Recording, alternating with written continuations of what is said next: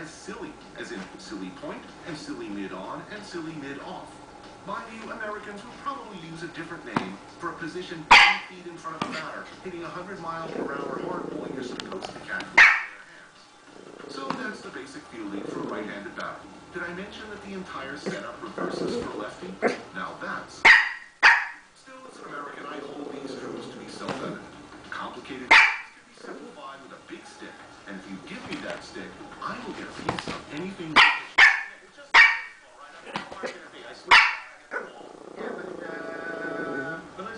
a wall.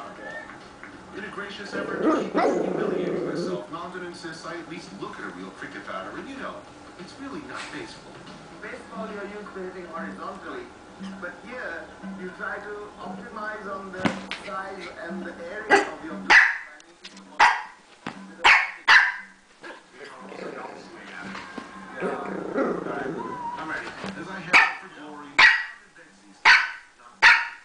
He understands baseball, the other doesn't understand and he's not wearing any protection.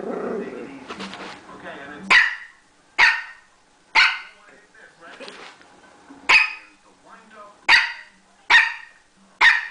Smacks that thing, girl hitting you with the ball. Not good.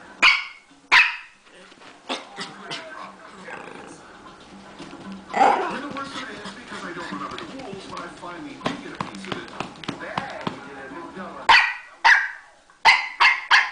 Almost authentic. how about That wasn't bad at all. big win? Thank you. To say that he would be a member of the national cricket team, no, no way. But he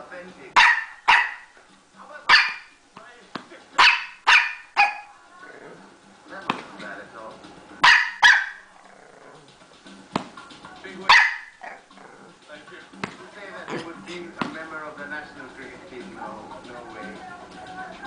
But he could be in their fun games, for sure.